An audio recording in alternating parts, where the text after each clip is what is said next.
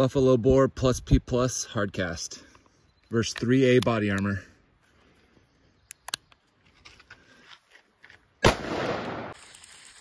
Made a good dent in the bag, but it stopped it. It's right there.